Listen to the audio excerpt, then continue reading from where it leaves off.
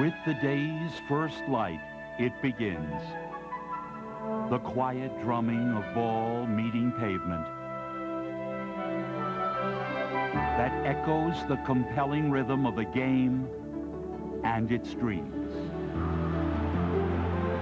There it is. There he goes. He goes in straight, goes up in the air. Now he's sideways. Look at the air. At With simple purity, Larry Bird shakes free. Three-pointer. and ultimate grace. It has woven a legacy that transcends time in its ability to stir the imagination.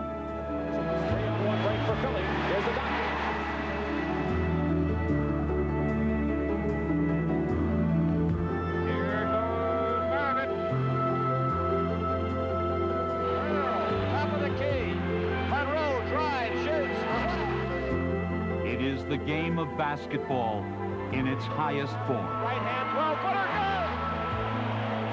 HBO Sports presents History of the NBA. Whether it's played on the asphalt of the inner city or the well-tended wooden floor of a professional arena, basketball is both sport and spectacle. Hello, I'm Pat Riley. Like the game itself, the history of the NBA is one of contrasting images. It's a story of both enduring tradition and remarkable, often breathtaking evolution. And as we marvel today at the aerial majesty of Michael Jordan, the ball handling magic of Earvin Johnson, and the uncanny instincts of Larry Bird, it's almost difficult to believe that it all began simply with a ball like this and a peach basket.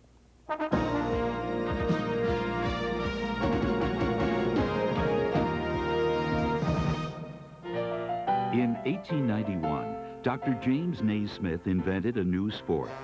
A Massachusetts school teacher, he hoped to amuse his students during the long New England winters. The first professional teams rented out local halls and charged two cents for admission.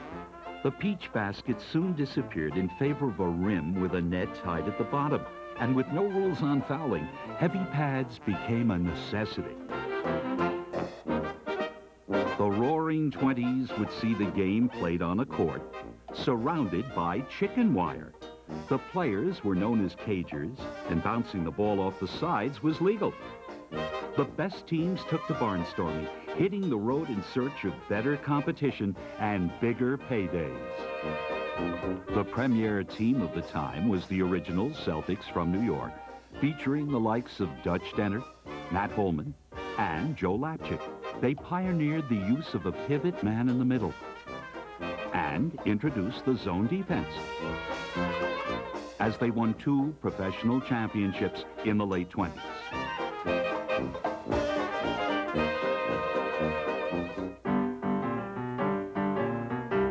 The 30s brought the onset of the Depression, but the game endured, finding refuge in dance halls like the one found in Philadelphia's Broadwood Hotel. I think the people would pay a dollar or a dollar and a half, whatever it was, and you'd have a basketball game and dance. And that was the original concept. It was one such establishment, the Renaissance Casino Club in Harlem, that gave birth to basketball's next great team, the Renaissance Big Five. Led by star big men, six foot four Tarzan Cooper and six foot five wee Willie Smith. They dominated the barnstorming road despite often difficult conditions. The fans are sitting right on the floor almost. And one of our ball players by the name of Puggy Bell, one of our great ball players, he bent down to pick up a ball. And a woman came out the stairs and kicked him right in as you know what. At the Savoy in Chicago, promoter Abe Saperstein formed a rival team. Claiming that they too hailed from New York, He dubbed them the Harlem Globetrotters, hoping to gain instant respectability. But playing in such unorthodox places as a drained swimming pool did not help their cause.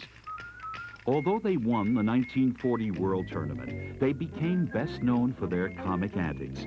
Eventually forsaking serious competition, they entertained audiences with the dribbling wizardry of Marques Haynes and the irresistible clowning of Reece Goose Tatum. It was just naturally funny. Now, not only the crowd laughed at Goose, but the rest of us fellows would we liked him too. You know, we, we thought he was funny too, and he was. In 1949, Sweetwater would make history as the first black player to sign with an NBA team. But first basketball would see many of its stars hitch up for military service with the outbreak of World War II.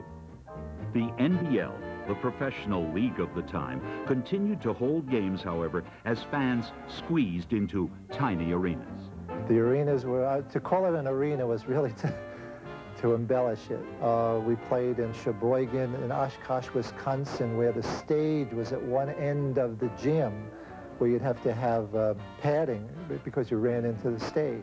In 1946 in New York, this would all change as Maurice Podoloff was selected to preside over a new 11-team league called the Basketball Association of America. Three years later, the BAA absorbed the NBL, and the NBA was born. Its early stars were Joe Fulks of the Warriors, George Mikan of the Lakers, and Bob Davies, whose Rochester Royals endured an 18-hour train ride to play a single game in Minneapolis. We'd hurry up and finish our game at 10.30, and they'd hold a train for us to New York Central Station in Rochester. We'd get into Chicago about 7.30 in the morning, have breakfast, and catch the Hiawatha to Minneapolis at 9 o'clock, get in there at 3.30, get something to eat quick, and go out to the uh, gym and play the game. Once there, they would face the NBA's version of Superman. And though he looked more like Clark Kent, George Mikan dominated the league in its early years. From 1949 to 1954, the Minneapolis Lakers won five titles in six years, led by Big George's overpowering inside play. They always say that I was very powerful underneath the basket. I was a pussycat. I would make uh, almost 50% of my scores on rebounding, offensive rebounding. Despite his soft-spoken manner, the 6'10", 240-pound Mikan was a physically overwhelming player who was impossible to guard. He was a difficult man to move, to budge once he got his spot. And uh, to play behind him was, was, was death. I mean, you couldn't stop it. After winning his final championship in 1954, Mikan left the NBA on top, but not before, forever changing the course of its history.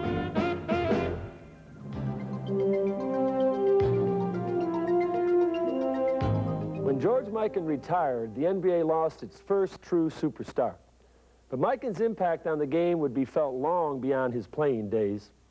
Ladies and gentlemen, the NBA's first great one, George Mikan. George, you were such a dominating player when you played that you actually changed the game. Then all of a sudden, they changed the game on you, didn't they? They sure did. The first rule change was the goaltending rule. I would go above the basket, either swat it away or catch it, come down, and start the fast break. The second rule change was when they widened the lane underneath the basket from 6 feet to uh, 12 feet. One of the uh, most important rule changes was the 24-second shot clock, and it was because of that 19 to 18 game against the Fort Wayne Pistons. Would you talk about that? Well, the Fort Wayne team uh, uh stalled on offense. They would not shoot. They would not uh, move the ball forward. And I'll never forget the game because uh, it was a father-son game and the place was packed. And we were trying very hard to make a game out of it. And so uh, it came down to the final minutes. Uh, Larry Foust was the center for uh, Fort Wayne. And in the last play of the game, he went up, and I was told, don't foul him. Uh, we're one point ahead. He went up uh, for the shot. I went up to block it. It rolled off my hand, and it went in off of my hand. And did I get it from our players? Tell me about this. I know a lot of people would like to know. I would like to know. Why number 99? Well, you know, uh, I was never 100%, and I always liked the wholesale price of 99. no retail? No retail. Well, I'll tell you what, you sold retail back then, George. You were great. Thanks for being here. In the post-Mikan years, the game style of play would change dramatically, and a team perfectly suited to its quickening pace would come to dominate the NBA, establishing a standard of excellence by which all other great teams would be measured.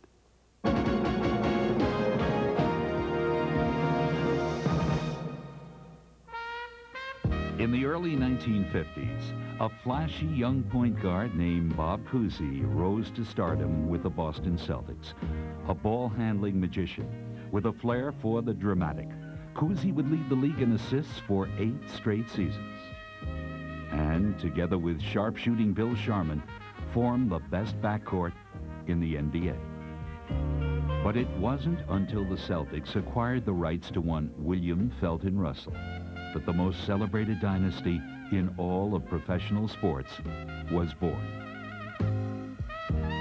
Well, I remember Arnold coming to me and saying, we're going to get a guy that's going to change everything for, for us. The shooters and the runners were in place, but obviously what he gave that supporting cast was the defensive backboard domination so that we could run out that fast break with complete reckless abandon and of course, he added the shot blocking dimension, which we didn't even know we were getting. That was a bonus.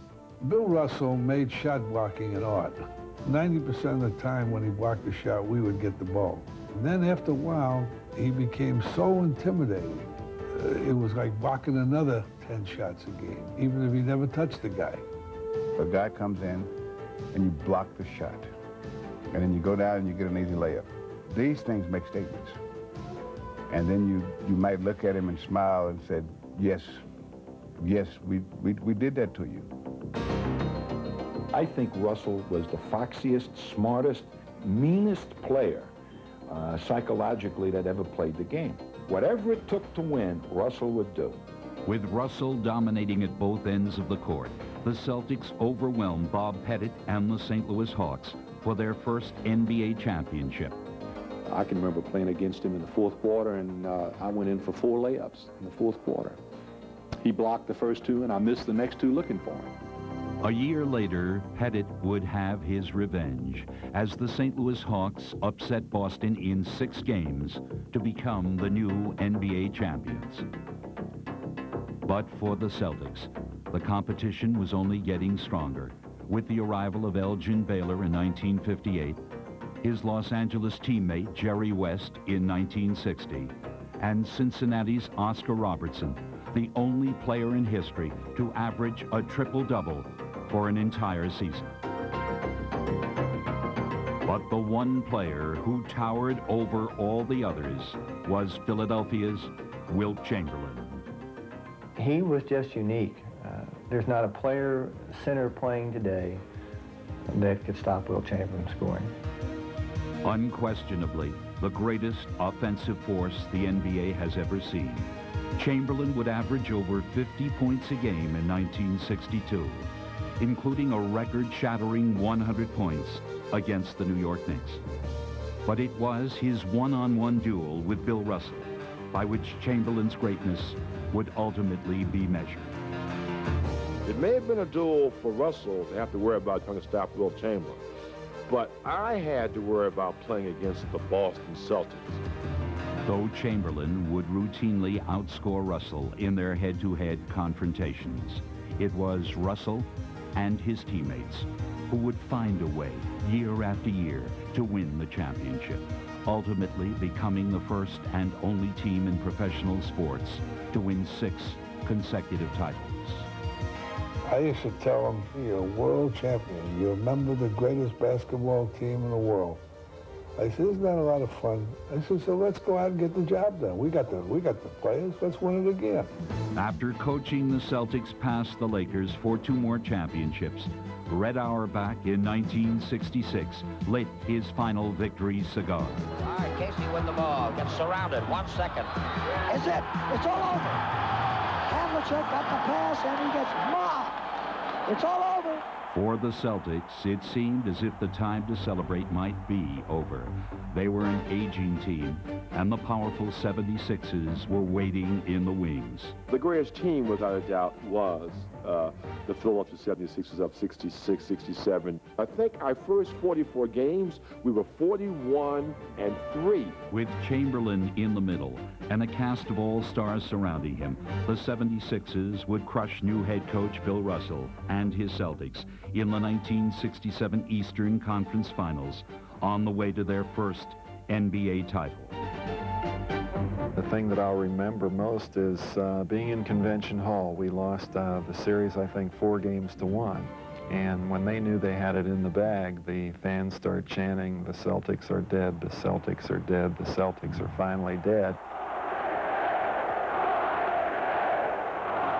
But the Celtics were not dead. Guys like Satch and Havlicek, these guys wanted to win every game, every year. Relying less on talent than on desire, the Celtics would recapture the title the following season. But in 1969, a weary and often injured team faced nearly insurmountable odds, defending it against a Laker team with newly acquired Wilt Chamberlain in the middle. But these Celtics had pride and history on their side. I think probably subconsciously uh, some of the players were probably were thinking about each time we played the Celtics, uh, wondering in their mind if they could beat the Celtics or not. I always thought that we could beat them. Uh, we didn't, but I always thought we could. Ironically, though Jerry West would be voted series most valuable player, the 1969 finals belonged to the Celtics, who defeated a more talented Laker team with hustle, with intelligence, and in the final moments, the luck of a bounce. Of all the ones we lost, that was the one that really hurt the most. It was the Celtics' 11th championship in 13 years, an accomplishment so monumental that it left even Bill Russell, their elder statesman and spiritual leader, at a loss for words. Chris, I'm here with Bill Russell. Bill, this must have been a great win for you. Exactly.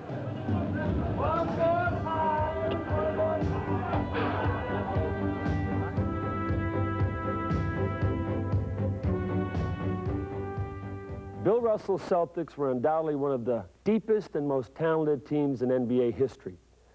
But perhaps the most amazing aspect of their incredible ability to defend their title year after year was their uncompromising will to win. Simply the greatest winner in the NBA, Bill Russell. Bill, year after year, championship after championship, the team had to find another reason to win. How did you do that? Well, it was a combination of things, Pat. For me personally, I wanted to win every game we ever played. Exhibition games didn't make any difference. Playoff game, want to win every game. But uh, we were so close as individuals that we would do things like when Walter Brown died, in his memory, we wanted to make sure they won a championship. Or when Cousy retired, we wanted to make sure that he went out a winner. Or when Red retired, we wanted to make sure that his last year was a championship year. And uh, we cared about the other guy's career.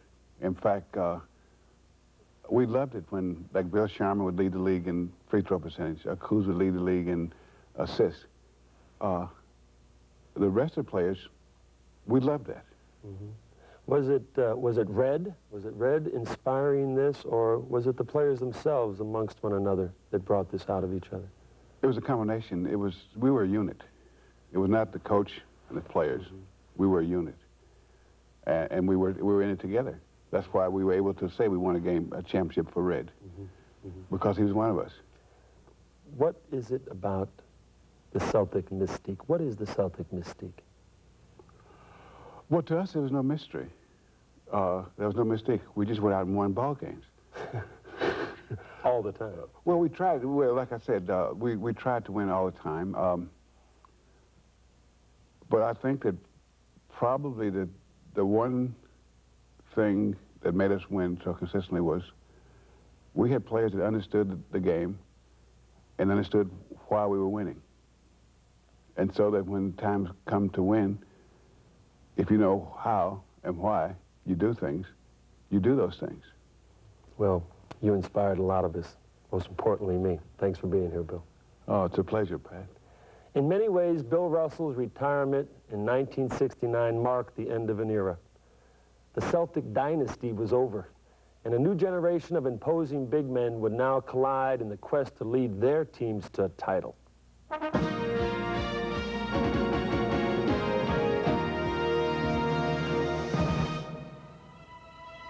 It was a time of titanic struggles. A decade when the weight of championship dreams fell more than ever on basketball's broadest shoulders. Willis Reed, the captain and driving force of the New York Knicks.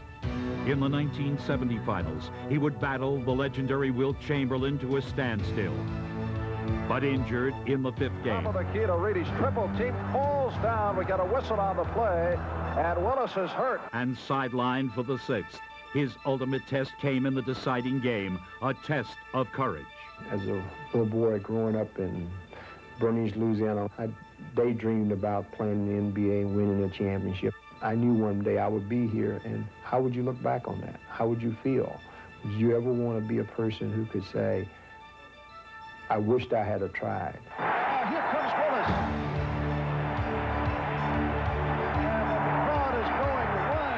Though barely able to walk, Willis would do more than just try. You are playing against the greatest center of all time and you're going to try to do it on one leg. Down court to Frazier. Got it by West. Left side of the lane. Outside Reed. Jumps from 20. Inspired by their valiant captain, the Knicks stormed to their first championship. For Wilt Chamberlain, the 70s was a time of change. From his first days in the league, he had been basketball's most devastating offensive weapon. During my time, they knew the ball was coming into me they would put two and three guys in that position before the ball even came to me. I would love to play right now. Otherwise, I honestly think that if I played right now versus my time, I'd average 70, 70 points a game. Though still one of the league's most prolific scorers. In the 1972 season, Chamberlain would expand his role. Me, they went to for the points, they went to for defense, they went to for rebounding, they went to me assists, they went to whatever the game asked, they went to for me. Understand? They didn't go to me to shoot the technical foul. Sorry.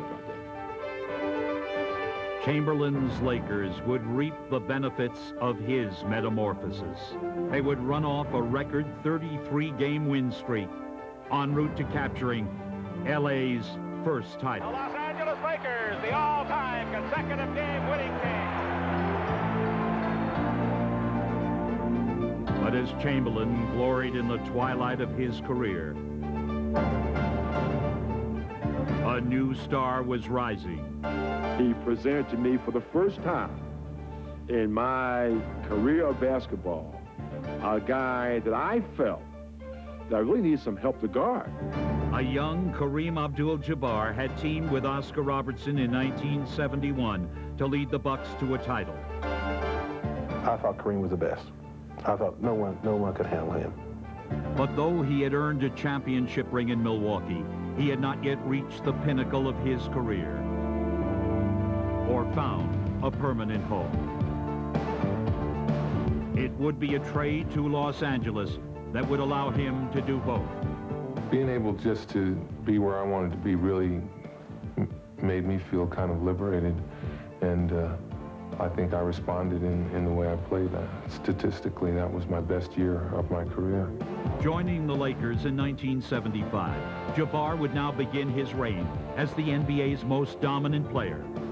The thing that amazed me the most about him uh, in that initial meeting was his, was his strength. He's just an incredibly strong and powerful performer. Perhaps the greatest challenge to Jabbar's supremacy in the middle came from fellow UCLA graduate Bill Walton. it was uh, a, a, very competitive atmosphere when I, when I played against him. I thought uh, when he was healthy, he was definitely uh, one of the great centers to play the game. Overcoming two years of injuries, Walton led his Trailblazers to a dramatic upset in the 77 Western Conference Finals.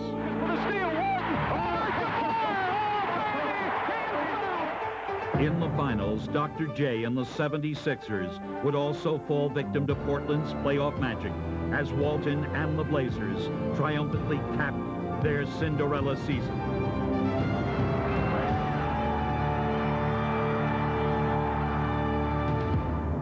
In the 70s, the road to the finals was a bruising one, with Goliaths like Nate Thurmond and Artis Gilmore roaming the paint. The battle under the boards was at its most ferocious. Eight different champions would arise in the decade, and even the presence of a perennial all-star such as Bob Lanier in the middle did not guarantee a title, as every team seemed to possess an intimidating big man. For six-foot-nine Dave Cowens, this meant a constant battle for survival. It was one he waged with furious intensity. Uh, there were some pretty rough guys out there who you knew you were in for quite a game every time you suit up against a particular team. The way I played a game was just play it as hard as I could all the time, no matter who I was playing against. With his unquenchable competitive fire, Cowens propelled the Celtics to championships in 74 and 76. Mirroring his indomitable spirit was another undersized center, six foot seven Wes Unseld, a merciless adversary. He would lead the Bullets to their first championship in 1978. For 48 minutes, you and I were going to knock heads. If you had something weak about you, I was going to exploit it and make it weaker. They give it to Dennis Johnson. He'll spin the left side to the corner. Long jumper off the back of the rim. Unseld the long rebound. Shovels to Dandridge. The Bullets are going to win. Washington, D.C.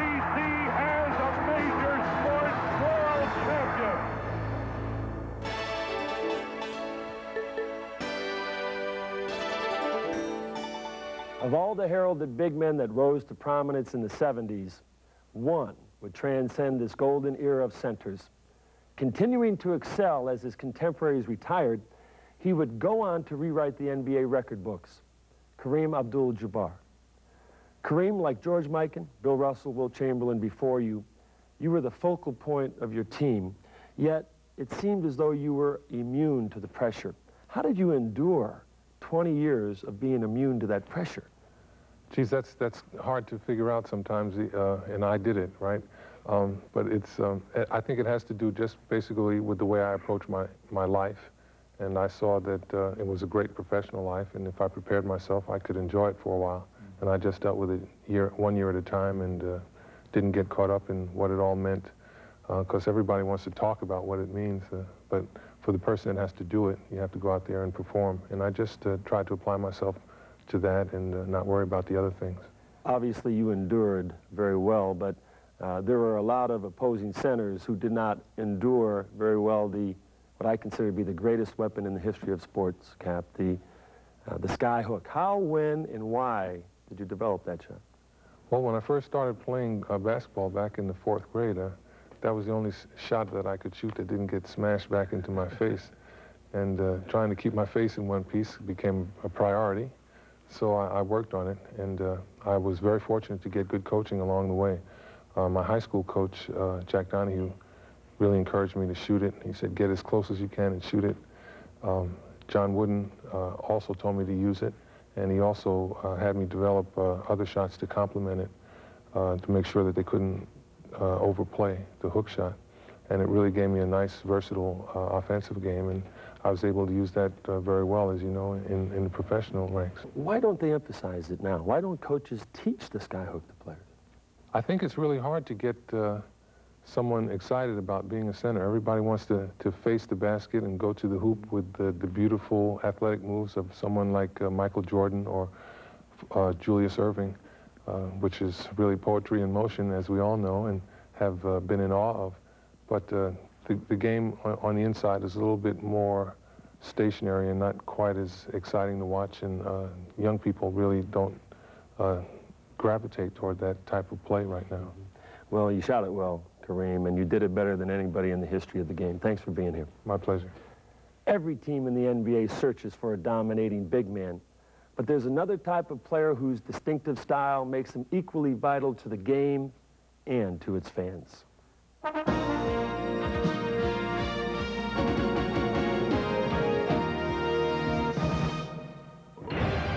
With every spellbinding move, with every heart-stopping play, they will take your breath and challenge your imagination. Here he goes, he's gonna drive. Come on, Jordan, fly. Here he goes! They are basketball's virtuoso performers. They are the showmen. Turnover, Doc, breakaway. He slams it. Dribble around Jackson, and he up. Oh, man. Now here's Magic down the middle. Oh, Magic. Oh, no, look faster, worth it. Make to Rambis who scores. Foul. From the league's earliest days, they've basked in the NBA's bright spotlight. Earl, top of the key. Monroe drives, shoots. What a play. never failing to delight their fans. Here's Isiah. Let's see what we got. All the way up. Go! never ceasing to amaze them. They clear out. He's isolated on Roundfield. Oh, takes it left lane and Jordan. Michael steps in. Reverse layup. The league's pioneer showman first took center stage in Boston Garden. As the Celtics piled up championships, Bob Cousy brought flair to the NBA. It's entertainment. We're all, in that sense, if we're honest with ourselves, I suppose we're all kind of show-offs in, in the sense that, you know, we want to display our skills, we want to be successful, and, uh, and we want the appreciation of the audience. Cousy, the cast of innovative performers who followed him would draw inspiration from their audience. So the fans always, they always get you going. You know, it could be because you're an entertainer in, in, in all senses of the word. Uh, it, it's like a it's like a performer, like Michael Jackson might perform differently for, for different audiences because uh, the audience brings a different element out of it. Three seconds. Plenty of time.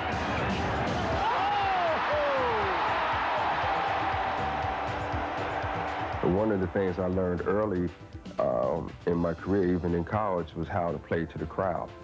And it was very important to me to have the crowd on my side because, you know, it, it just made my juices flow.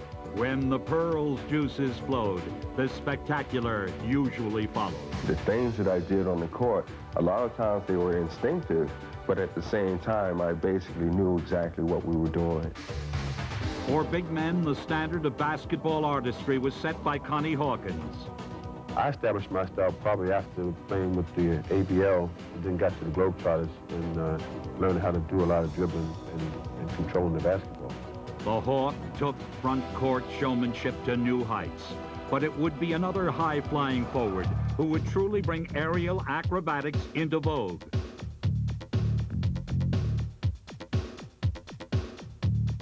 With a basketball in his prodigious hands, the doctor seemed unbound by physical law. I never went into a game saying, well, I'm going to do this tonight.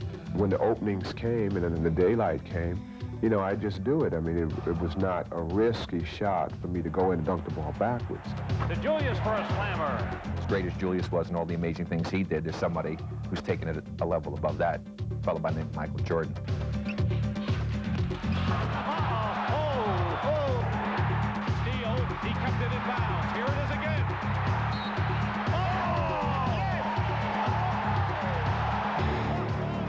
Think a showman is a person who uh, enjoys the game, and you can see it through their play. Jordan. Oh, my. And an entertainer is that type of a person who wants to go out and entertain. Though Jordan rules the airwaves, on the ground, the Showtime throne belongs to Magic.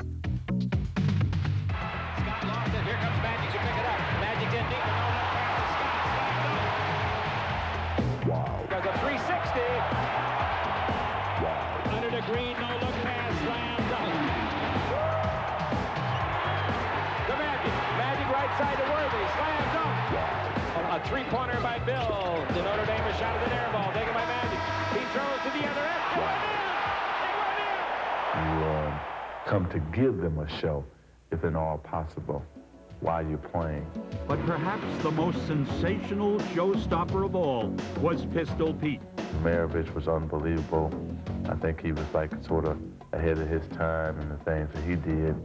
An electrifying performer, Maravich routinely did the miraculous. Pete could do things with the basketball that I've never seen anybody do. And no one since has done them any better. Best showman of all time. I'll probably have to say Pistol Pete. In every player who knows the thrill of bringing the fans to their feet, his legacy lives on.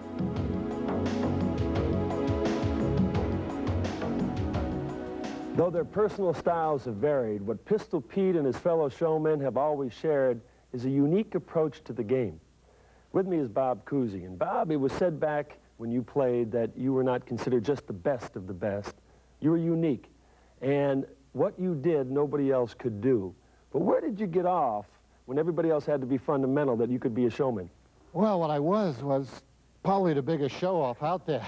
uh, you know, uh, you, you want to be an exhibitionist, I guess. We're all aware we're, it's the entertainment uh, business as well as winning and losing. And uh, I had, you know, a lot of God-given talent that I complemented, I suppose, with a vivid imagination. But perhaps the most important thing is both on a college level and a professional level, I had a coach who said, hey, go do it. Uh, as a coach, I talk a lot about uh, this fine line between pattern and spontaneity. How much did Auerbach talk about that? Well, Auerbach was never an X and O guy. So if we never ran any pattern, any half-court set, uh, but focused completely on a transitional game, he was happy. That puts the points on the board, and it gives you the best selection in terms of shots. So, and he was a showman as well. Uh, you know, that whole cigar stick we all remember well. and so he related to that stuff. He knew that you had to win. That's the way to get people in. Uh, but you had to do it in an exciting and a spectacular way. Uh, of all of the magnificent moves, was there anyone in a big game that backfired? Oh, God, we don't have enough time, Pat. How, what do we have, two minutes here? No. Anytime you're, you're focusing on unorthodox maneuvers, you know, a lot of them not going to work. The, the thing to remember, if you're an athlete, is, you know, not to be insecure. And just because a couple backfire, it's like shooting. You miss your first five, the shooter goes after the sixth and seventh immediately, and passing is the same thing. Don't be inhibited and don't be frightened by throwing a few away because eventually your talent will come to the fore. Well, Bob, obviously yours did. Thank you for being here. Of all the magnificent showmen who left their mark on the NBA, few have had a greater impact than a charismatic young point guard by the name of Earvin Magic Johnson. In 1979, he would make his highly publicized entrance into the league, and along with another heralded rookie, begin to dramatically reshape NBA history.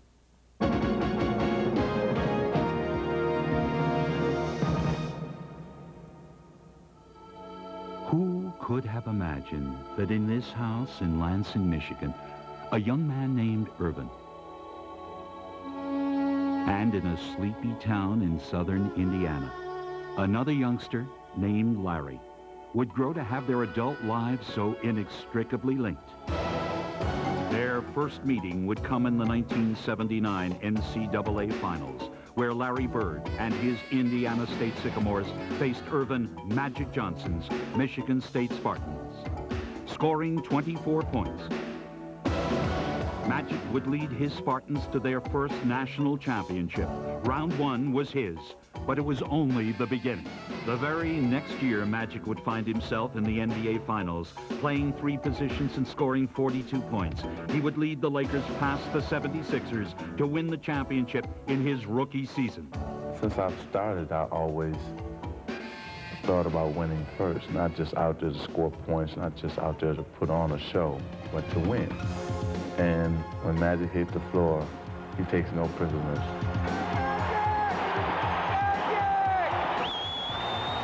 1982, Magic would lead the Lakers to another title, igniting them with his passionate play. He still uh, is an enthusiastic player, and that, that is one thing that uh, won't change about him. He plays with a lot of emotion, a lot of heart. Loose ball with 15 seconds, and Johnson has it, and he throws up a prayer, and he does.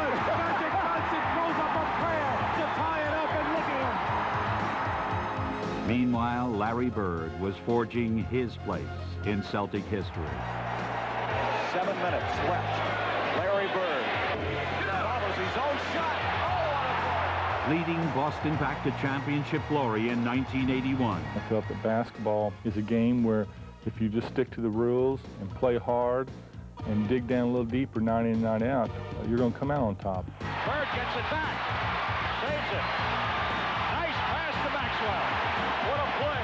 There's a lot of players in this league that can score uh, the first three quarters of the game, but you get down in the fourth quarter when you need a basket, you can separate the men from the boys, and it's been like it ever since I've been in the league. Pass to double team and Bird. Larry, fake, fall away. Hits it! All right! Their NBA championship showdown would finally come in 1984. And Larry Bird was determined that this long-awaited rematch would belong to him. James finds an open Bird. Takes Rambis. One second. Five years after their first confrontation, Here's Larry Bird. Chucking down the court. Bird had his revenge as he led the Celtics to a climactic Game 7 victory. That man can play that game of basketball. I think the one key ingredient to, to making us, each of us, a good basketball player is that we come to win every night. The following year, it would be Magic's turn as the Lakers became the first visiting team in history to win a title in Boston Garden. Theirs was a rivalry that captivated the sports world. But as they ushered the NBA into a new era, another one was ended. In 1987, Julius Erving would bring his illustrious career to a close. But not before teaming with Moses Malone in 1983 to bring his 76ers a championship. The doctor would leave behind an emerging group of young superstars who would join Magic and Bird in reshaping the face of the NBA.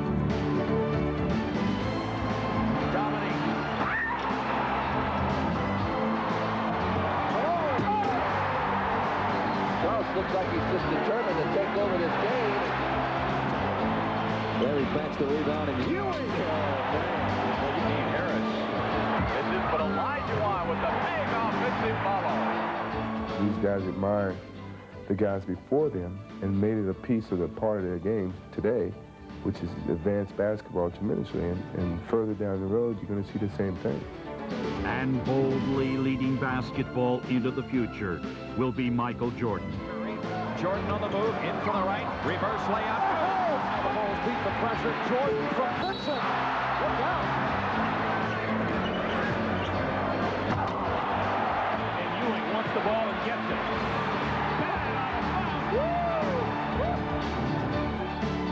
But while Jordan may be the player of the 90s, the 80s belong to Magic and Bird. In 1987, the Lakers gained their fourth title of the decade, eliminating the Celtics in six games. But they would not stop there.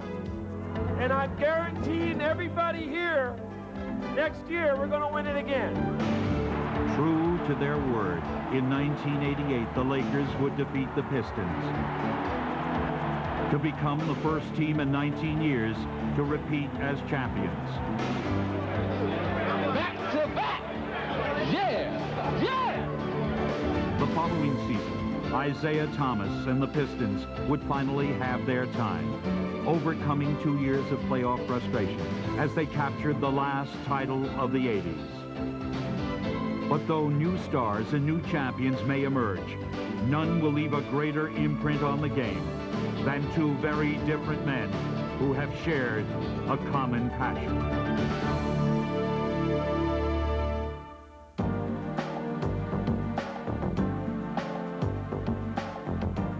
In the 1980s, the NBA thrived as never before.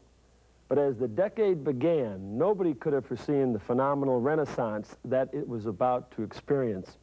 And the reason? Earvin Magic Johnson. Earvin, you came into the league as a 20-year-old, wet-nosed rookie. and uh, did you ever think it was going to turn out like this? Did you ever dream it was going to be like this? Not out of my wildest dreams. You know, we're sitting here in these tuxes and talking about the history of the NBA. Um, I just wanted to come in and win. And if uh, winning could bring me all this, then fine. But uh, I'm still dreaming. I'm still living that fairy tale life, and I hope I never wake up. There's an old saying that if you do more than you're supposed to do for somebody else, you get back twice as much for what you do. It seems as though that's been your attitude throughout your career. Explain that.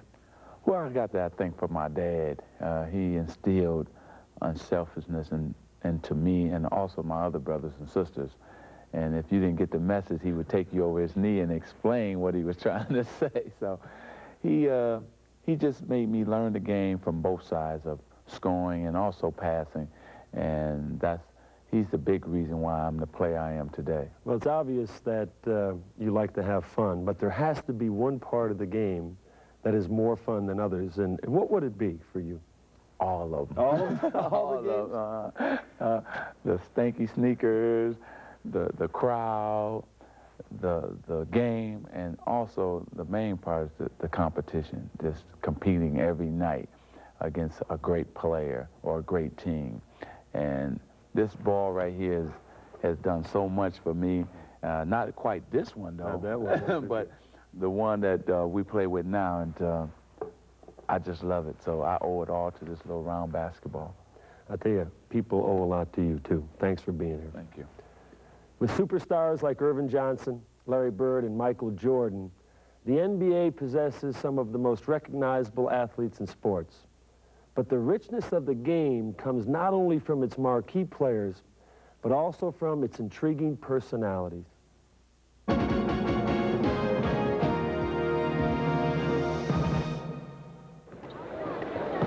Why are you following me? Get away from me. It's not nice to be spying on people.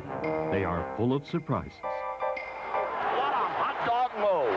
Put a little mustard on him. I don't know what happened to me. It wasn't my fault. Referee was picking on me. Well, tell him to shut up. They are calm, cool, walk. and always collected. They are the NBA's colorful characters. You three don't look like the Three Stooges. I've never seen them. Have You ever seen anything funny in this? And they are the undisputed favorites of the fans. You pay for that seat. All right, keep talking then.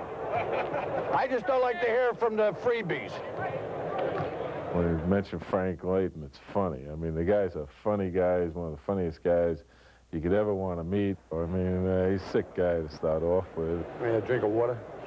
Okay, I taste it first. You want to taste it? Yeah. How do I know somebody didn't put something in it? You know what?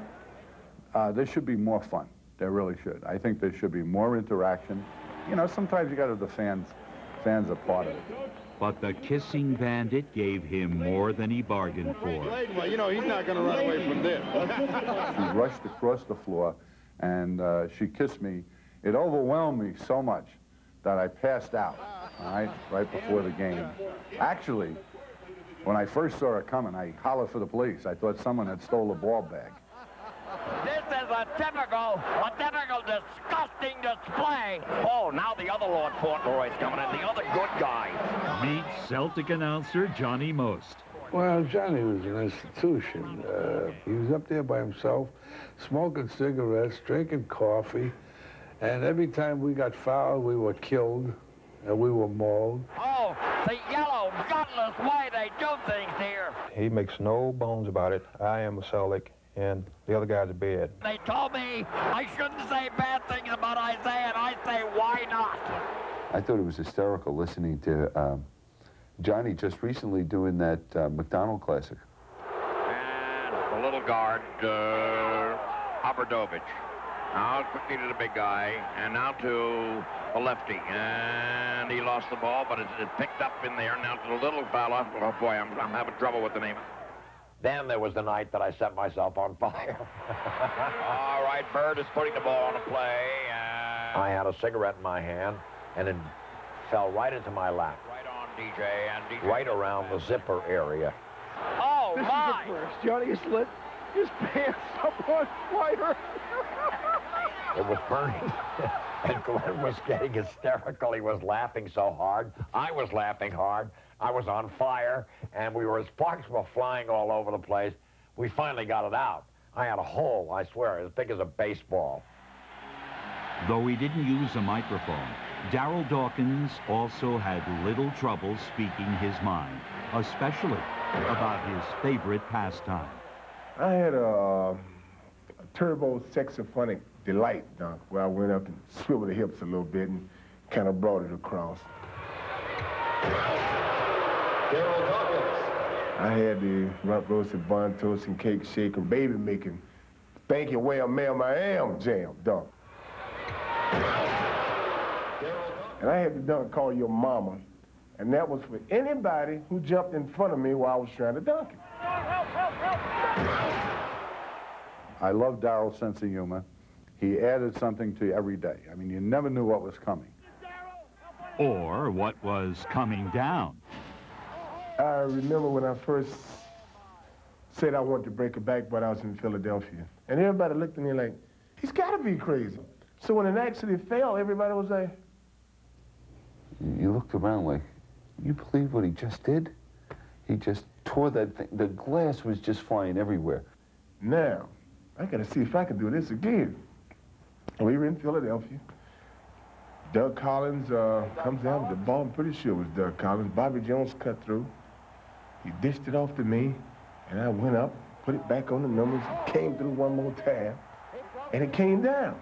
Glass started falling. I started saying, yeah, yeah, dig it, yeah. But the commissioner stopped there real quick. But as always, Chocolate Thunder would have the last word. They seemed to think I was gonna come in the league and stay in for two years, but I fooled you. I stayed in 14. And now I got that good pension plan coming, and I ain't complaining about much.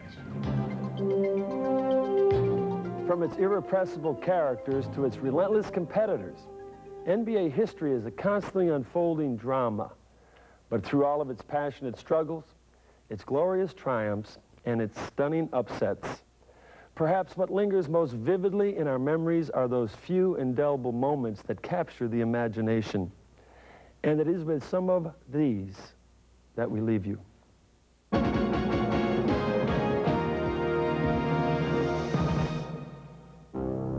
think there will be a period of orientation for me, of course, like it is for every newcomer in the NBA, but I think in the long run I'll be able to handle myself man to man with almost anyone in the league.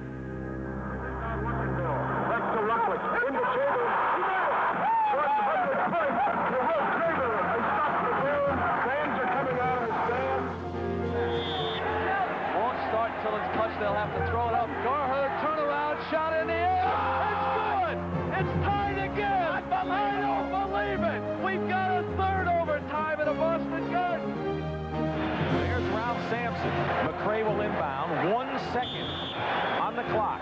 Sampson. It goes. It's over. A miraculous shot by Ralph Sampson has given the Houston Rockets the Western Conference Championship. Everybody's waving their arms. It's into Kareem. Kareem swing left, right hand 12-footer good. The new king of scoring has ascended his throne.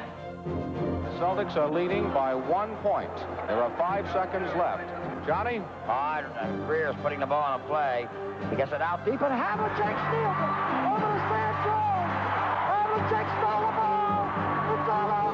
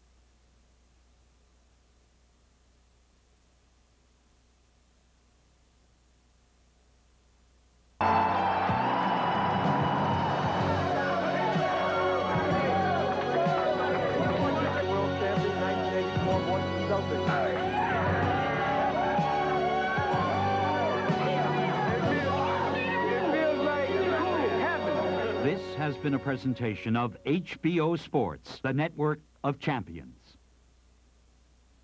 The HBO original movie for April is a true story that could reveal the identities of a ruthless gang of killers.